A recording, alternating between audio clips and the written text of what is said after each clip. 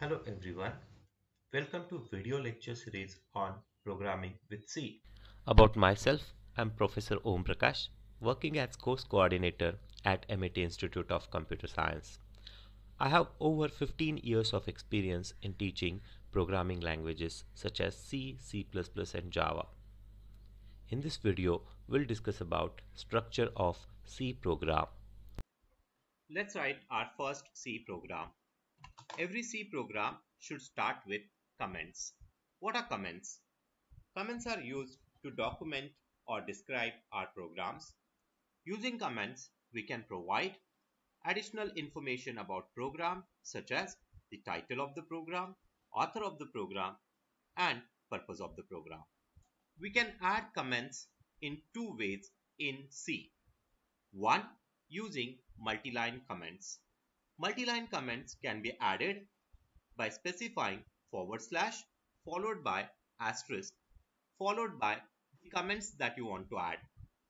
Such as say for example, this is my first program. Then we'll add the name of the author. Say my name. To mark the end of multi-line comments, we have to specify asterisk followed by forward slash. In contrast to multi-line comments, few modern C compilers support single line comments. Single line comments can be specified using double forward slash. The difference between multi-line comments and single line comments is multi-line comments can have multiple lines whereas a single line comment can have only a single line. Line comment. After comments, we have to add header files in a C program. We'll add hash include stdio.h. Here stdio.h is the name of the header file. A header file consists of definitions of library functions and macros that we want to use in our program. stdio.h is a built-in header file. It includes standard input and output functions which we want to use in our program. Hash include is a preprocessor directive. It means that it is pre-processed before the compilation. Next, we need to add the main function. The main function may take parameters or may not take parameters. In this example, I'm not passing any parameters to the main function. It is followed by curly brackets. The return type of main function can be int or void. If we specify the return type as int, we have to include a return statement. Specify void as return type there is no need to specify return statement. Let's specify int as return type. Now, if we specify int as return type, we have to include return statement. What value I should return? Here, we have to return a zero value for successful execution of the program and a non-zero value when the program is not executed successfully. Now, where these values are returned? The value is returned to the operating system where you are executing the program. The values are interpreted by the operating system for further action. Now let's add a simple printf statement to print a message on the screen.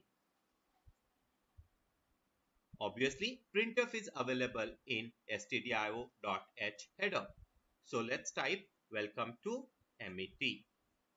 Now we have to save this particular program. It's very simple. Click on file menu, click on save and save it at the location where you want to save. Say I'm calling it as my program 1 and I want to save it as a C Click on save. Once the program is saved, we have to first compile the program. The compiler checks are there any errors in our program. If there are no errors, it shows the appropriate message. If there are no errors, we can execute this particular program and to execute the program, we have to issue run command. On clicking run, we'll get the output and as specified in the program, the output is welcome to MET. Now let's study how a C program is compiled and executed. The step 1 in the execution of a C program is we have to first write the C program. And to write C program, we can use any editor. As seen in the previous example, we have used developer C++ to write a very simple C program. You can see the same program hash include stdio.h, int main and so on. We have to save this file with some name. In this case, I'm saving the file with my program name and extension .c. This file is saved on hard disk. The next component of the execution process is a preprocessor.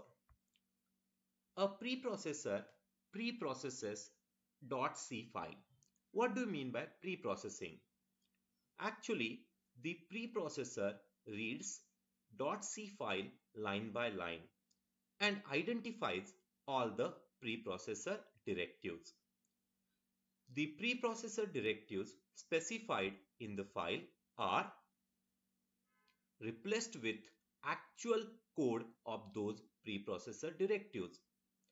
Here in this program we have hash include stdio.h. The code or the contents of stdio.h are replaced with the directive and what we get the code of header file plus our code and another intermediate file is created and it is saved on hard disk with the name myprogram.i.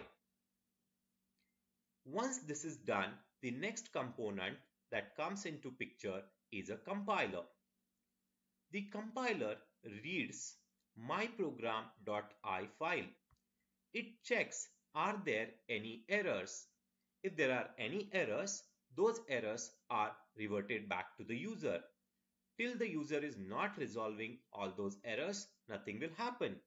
Once all the errors are resolved, the compiler converts myprogram.i file in what is called as object code and we get another intermediate file which consists of all the binary code myprogram.o and this file is saved on the disk again.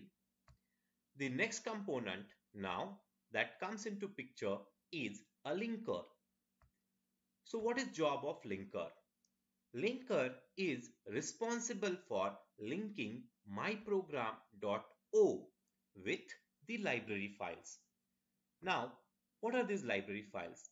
The header file contains only the names of the functions, whereas the actual code for say printf function is included in the library file. So along with your program's object code, the function's object code is also linked and we get another file. The another file that we get is known as myprogram.out file and this file is again stored on the hard disk.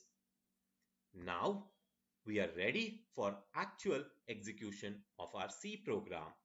The next component that comes into picture is the loader. The loader reads myprogram.out and loads it in RAM. Once myprogram.out is loaded in RAM, it is executed by CPU and we get the final output. This is how a C program is compiled and executed. Let's review what we have learned. Question 1. C programs are converted into machine language with the help of and the choices are an editor, compiler, linker, operating system. As we already have discussed, C programs are converted into machine language or the object, uh, sorry, binary code using compiler. So the answer is B, compiler.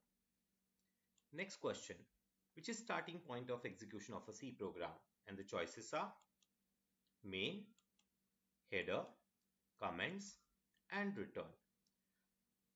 If you look at the question, it's pretty straightforward. The answer is main. Comments are not included for execution or even conversion. Header files are before execution and return statement is after execution. So thank you everyone